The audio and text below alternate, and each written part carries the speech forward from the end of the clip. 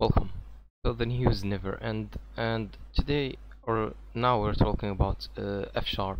Uh, so F Sharp 5 has been released uh, for .NET 5 Preview 4, I guess, and it contain contains some interesting improvements if you ever use F Sharp. I'm not sure who uses F Sharp anymore, but if you are an F Sharp developer, now you have the ability to use uh, C Sharp interfaces in your F Sharp program if you ever used F Sharp anyway.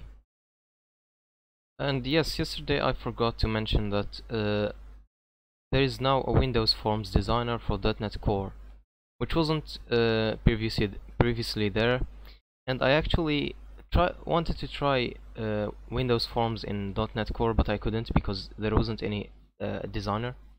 But now there you have it. If you want to use uh, Windows Forms with .NET Core, now we have the option to use the, de the designer. And lastly, uh, there is there has been uh, a new Windows subsystem li for Linux update, and let's take a look at what it has.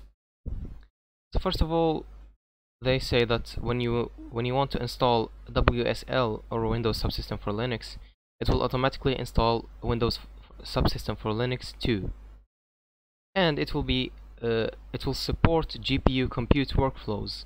So WSL will support GPU workflows because uh, if you've watched the previous news, the the DirectX has yeah I'm sorry I'm, my English is very bad. Anyway, DirectX X announced the, their support for Windows subsystem for Linux, so now you can use some GPU compute stuff.